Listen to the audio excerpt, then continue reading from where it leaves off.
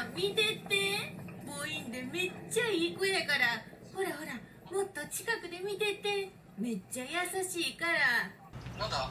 え？なんなんなんなんですか？お兄さんもう3週目やで。そろそろ決めてってや。いつまで歩き回ってるん？暑いし汗かくから。呼びそうなんですよ。けどこんなんであの女性のとこに行ったりとかしたらいけないかなとか思ったりとかするんですけどほらもう何周もぐるぐる回ってから上がられると印象悪いでいややっぱりそうなんですねはいじゃあちょっと上がらせていただきますありがとうございます。お時間何分にしますか？えー、時間って何分があるんですか ?15 分とはい20分と30分、45分、60分になります。どうします？あの初めてなんで15分とかでも大丈夫なんですかね？えー、15分か。でも料金表にも20分からって書いてるし、20分にしてくれたら嬉しいな。ああそうなのわかりました喜んでくお姉さんすごい綺麗だから喜んでくれるんならもう20分します えー、めっちゃ嬉しい。優しいんですね。ありがとうございます。やらせていただきます じゃあ、あの、今からお茶持ってくるから、脱いで待っててください。ええ うん、脱いどいてもらっていいですか？全裸ですか？そうですね。全裸待機でお願いします。わかりましたはちょっと待っててくださいね。いお子さんと初めてのコラボになります。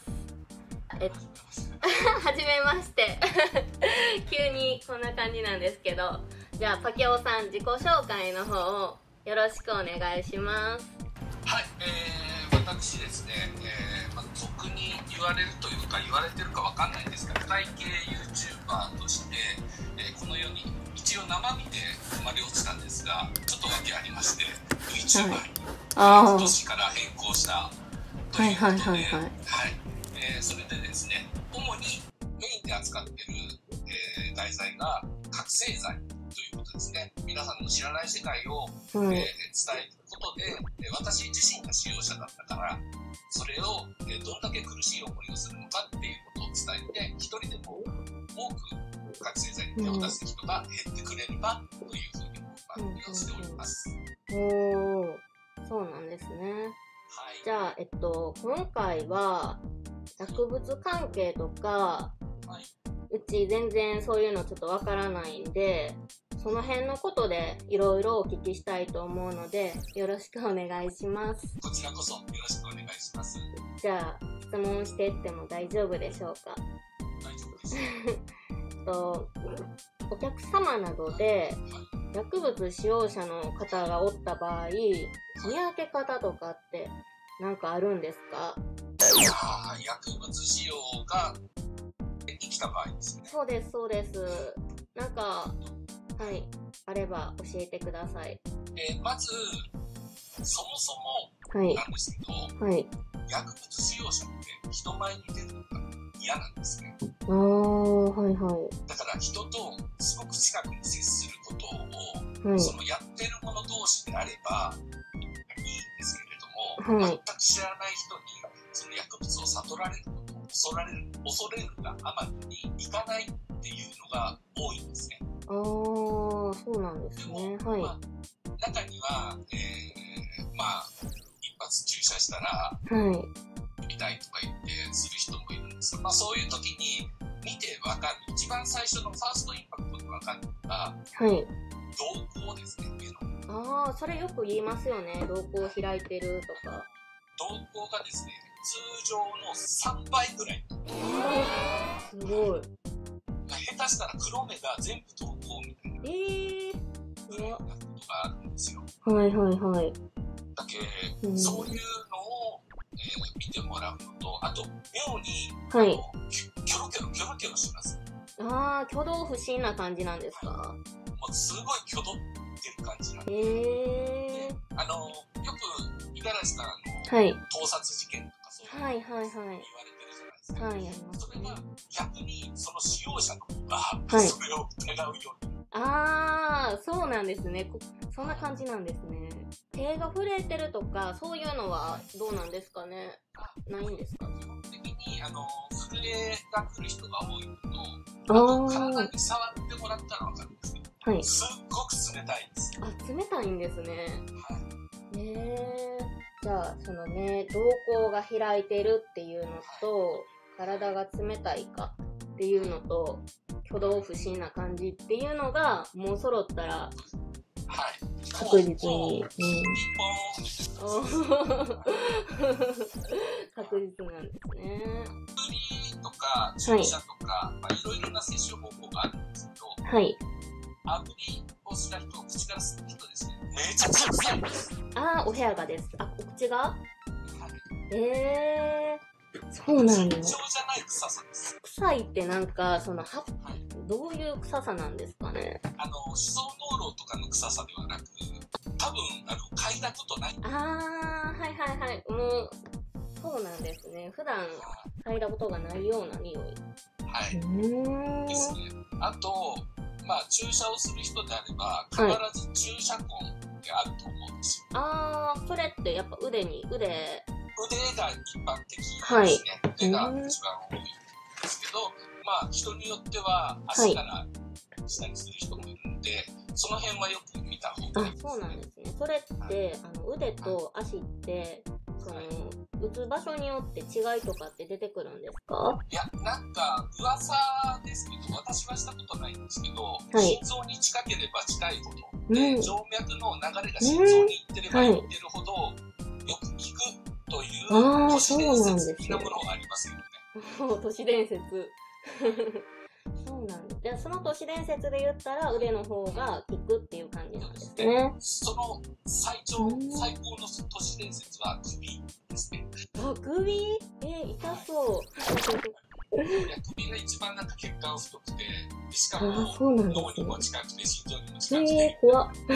はいそうなんですね。えー、はい。じゃあ、えっと、二つ目なんですけど、もし、そのお客様で薬物の使用者が来たとき、はい。どうやって対処したらいいですかね？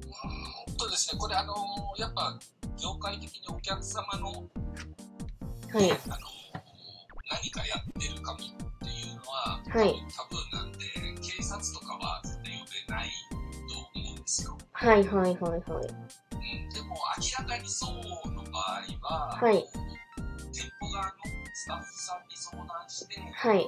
対応してああ、はいはいはい。一番ベストじゃないかなと思うんです。あーで、はいはい結局じゃないですか、最はい。終が。そうですね。はい。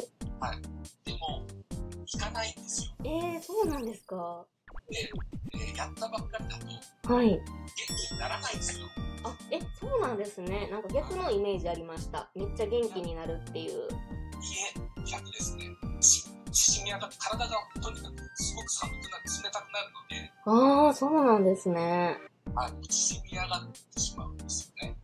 それって、あの、時間が経ったりしても、それに変わりはないんですか？いや、時間経ったら徐々に。ああ、徐々に元気になっていくっていう感じなんですか。それが、もう、それを目的としてるんであれば、はいあの、青い薬とか、オレンジ色の薬をドーピングしてますね。ああ、そうなんや。え、それ、その場合、そのお客様が、えっと、薬物してるなってこっちが感じ取った場合、そのお客様の方には、こっちから言わない方がいいんですかね？言ったら必ず否定して、はい。何疑いかけてるんだっていう逆上をすある。あ、はいはいはいはい。